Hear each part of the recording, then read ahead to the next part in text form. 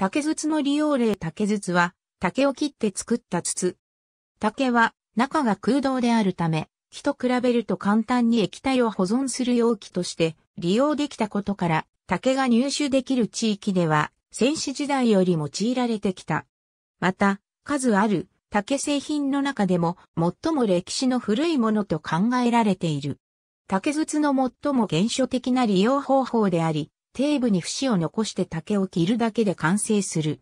グアムで残留日本兵として長年ジャングル生活を送っていた横井正一が自作の竹筒を食料貯蔵に利用していたというエピソードがある。最も基本的な用途としては水を入れて保管するというものであるが、それ以外の液体や屋外で採集した木イチゴなどの食料を入れるのにも用いられた。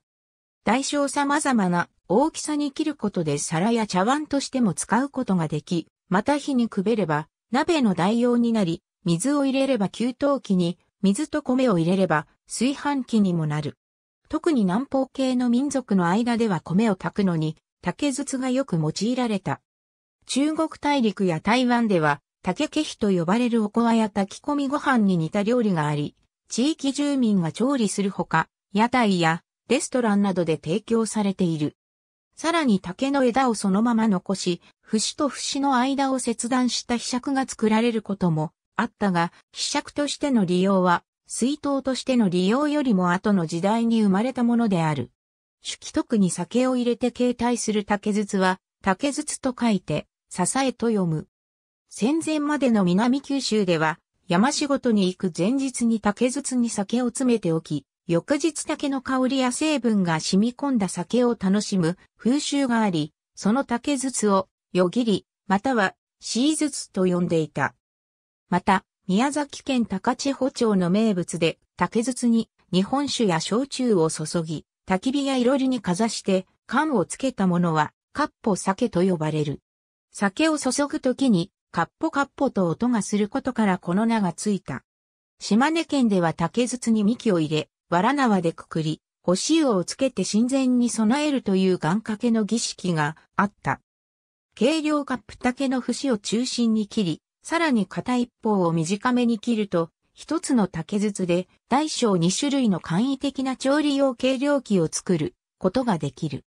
近代までの日本では油用、調理用、米の軽量用と用途に応じた竹筒が農村部を中心に自作されていた。橋立て橋立てとしての用途もある。三つの節が含まれるように、長さ50から60センチメートルほどに竹を切り、節の上部に穴を開け、箸や杓子などの食器をまとめて立てられるようにした。よろずという器具は、戦前までの日本の家庭で広く、一般に見られたものである。洋館の容器戦前から戦後間もない頃の駄菓子屋では、客の求めに応じて店主が節に穴を開け、指で押すと羊羹が出てくる、青竹に詰められた羊羹が広く売られていた。現代では、涼しさを演出する夏の洒落た甘みとして販売されており、岐阜県の柿羊羹のように、日本全国の名家になっているものもある。薬味の容器七味唐辛子、山椒といった薬味の容器に、竹筒が使われることがある。竹筒の側面に中に入れる香辛料に適したサイズの穴を開け木片で蓋をし、上部は補充するために開口してあり、木片で線をしているものなどがある。竹筒を用いた楽器は、管楽器、対名楽器、弦楽器と幅広い。アンクルン、トルン、バリンビン、ササラ、小、七力、尺八、天福、一節二例、流滴、ケーナ、ケーン相板、バンスリ、テグム、バリハ、パンパイプなど世界各地に存在する。竹は繊維質で柔軟性に富み、不要な共振の吸収や温かみのある響きを出せるため、楽器として使われるとともに、スピーカーの素材として採用する製品もある。音楽教育においては、単に節を残して切断した竹筒をそのまま楽器として子供たちに与え、自由で多様な音楽表現をさせるという授業実践が行われている。ここで竹筒を教材として用いる理由には、竹筒が容易に入手できること、様々な音、響きを創出でき、双方を工夫できることなどが挙げられる。茨城県の日沼では1メートルほどの長さの竹筒から節を抜き、2から3本を一束にしたものを沼底に沈めて、うなぎを取る高っぽ漁という漁業が行われている。この漁法では餌を用いないため、環境に優しい漁業が実現される。同様の漁業は、霞ヶ浦、北浦でも行われており、徳島県松手芸町のように以前は竹筒だったものがビニールパイプに変化した地域もある。このほか、東京都水産試験場が浅草の利用食の際に簡便な塩化アンモニウムの施肥方法として竹筒の利用を提案したことがある。長岡京では直径5センチメートルの八区を3本に一組にしたものを南北100メートルにわたって敷設していたことが1969年の発掘調査で明らかになった。これは排水管として利用されていたと推定された。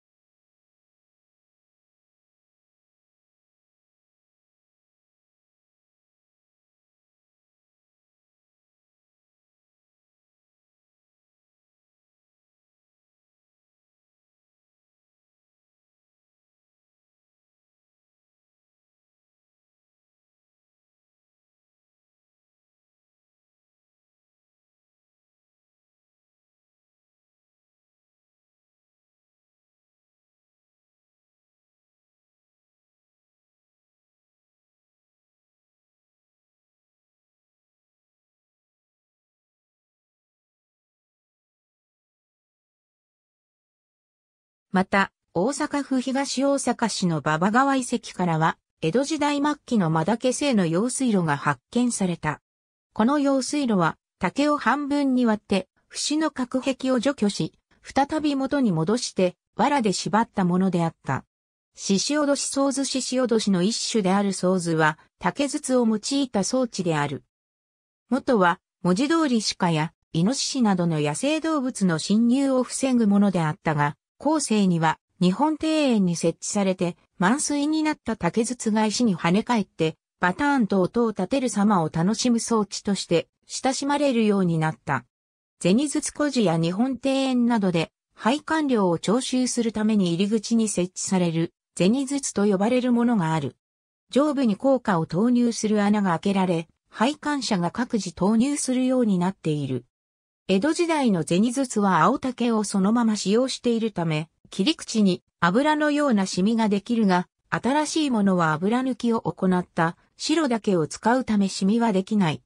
皮膚きだけ消えかけた灰に松の落ち葉や竹くずなどを乗せて早期し、再び燃え上がらせるために使う皮膚きだけという用法がある。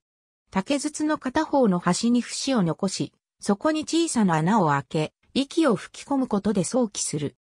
かつての日本の農村では、いろりで日常的に利用されてきたが、皮膚きだけを吹くたびに灰を部屋中に撒き散らすため、使用頻度が低下し、ガス燃料の普及によって、いろりと共に姿を消した。他方でキャンプなどで焚き火をする際に皮膚きだけを利用する人が一定数存在し、アウトドア用品として販売もされている。尿頭武家社会では、遺憾即体調神下が武士の清掃であったため、清掃した状態で排泄する際は、尿頭と呼ばれる竹筒を袴の裾から差し入れて、用を足していた。尿頭は平安時代にはすでに存在した。また将軍家に代々使え、尿頭を持つ、高人長石人という役職が存在し、土竹が代々世襲していた。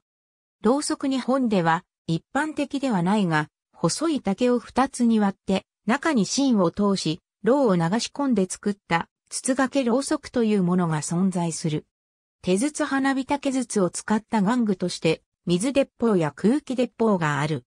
本体となる太い竹筒の節に小さな穴を開け、先端に布などを巻いて、竹筒の中に入る大きさの竹の棒を用意すれば、水鉄砲の完成である。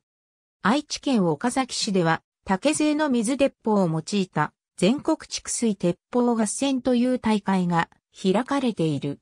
また手筒花火は荒縄を巻いた太い竹筒に火薬を詰めたものであり、日本各地で祭りを盛り上げるのに貢献している。ありがとうございます。